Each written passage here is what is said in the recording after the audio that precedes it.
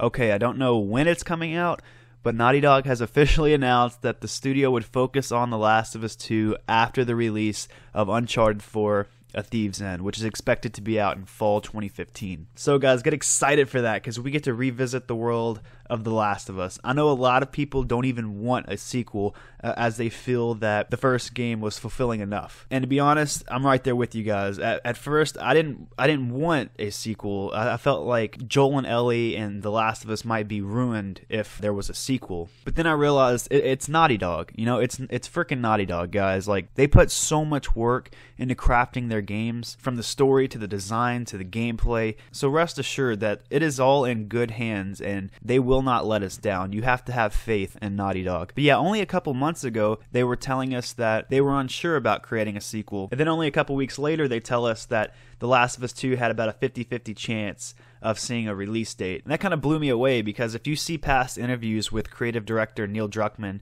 you can really see from, you know, the way he talks, you know, his expressions and stuff, he didn't really want to create a sequel because again, he felt that they crafted it like a perfection and they, they didn't want to tamper with it or anything like that. And I 100% agree with him, you know, I mean, it's risky uh, because you've created something that fans have really grown to love so much. So it's it's risky to go back to that and, and, and you know, create a, a different interpretation of it, you know, either through different characters or a different location, stuff like that. I mean, every single small thing that you tweak can really impact the entire game. So I can understand why you know Neil Druckmann and the rest of Naughty Dog were hesitant to even go back to The Last of Us. So now that they are, you know, going to create The Last of Us 2, uh, they they said that right now they're 110% in Uncharted 4 territory. They have all their limited resources focused on Uncharted, and that's great. You know, that's another thing I love about Naughty Dog is they focus on one project at a time. So The Last of Us 2 for now is put on ice. We don't know exactly when it's coming out. Uh, my prediction is around 2017, and that's still kind of soon with Uncharted 4 coming out in fall. That's only about a year, uh, you know, depending on when in 2017. That's about a year to two years to give them to create The Last of Us 2. But again, you know, I, I think they can do it. Uh, the earliest I would I would predict is 2017, possibly late 2017 to you know late 2018. I know that's rough estimate, you know, but again, that's just my guess. So of course, there's tons of stuff to talk about. You know, will The Last of Us 2 feature Joel and Ellie? All Neil Druckmann had to say about that was the absence of the two main characters may be a possibility if the voice actors uh, Troy Baker and Ashley Johnson would be absent for the follow-up project, uh, and that's just one reason for the absence of Joel and Ellie. Obviously, you can't have any other actors portraying these two characters because it just wouldn't be Joel and Ellie. And and to be honest, again, I don't want another Joel and Ellie game. I, I, am completely happy with what we got in The Last of Us. It's not because I don't like Joel and Ellie uh, that I don't want to see them again. It's just that I feel that they were giving enough justice as it was. I don't want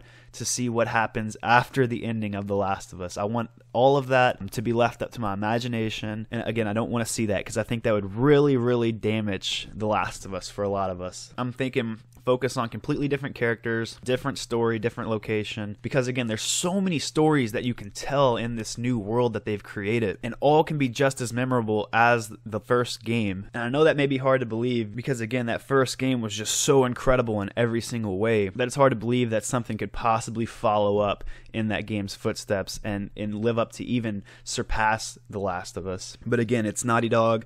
You know, there's not a doubt in my mind that they can do it. So yeah, I want to see completely new characters, possibly even having the main character being a female. You know, I mean, again, that's not even a big deal, really. But Naughty Dog hasn't created a game with a female lead yet, so I would I would love to see their take on that and how they would handle that. Of course, we got to play uh, Ellie a little bit in The Last of Us, but for the main part, the, you know, the main protagonist that we got to play as was Joel, and again, that was perfected. So, uh, you know, again, I would love to see uh, you know their take on a female protagonist. As far as location goes, you know, that's a whole nother story. Uh, you know, a whole nother video where I can sit here and talk about that forever, and I'm sure you all could too. I will say that personally, I do not want to play in the United States in The Last of Us 2. Uh, you know, I would really love to see maybe a European setting, possibly even an Asian setting. I mean, just because just think, Asia is a lot more populated than the United States, which equals a lot more of these infected. You know, in The Last of Us 1, the most we got to see on screen was that, uh, spoilers by the way, when we're traveling with uh, Sam and Henry, and we had to protect them with that sniper from, you know, soldiers, and then all those uh, infected start coming. So yeah, that's the most infected we got to see on screen. You know, I would love to see thousands of these things just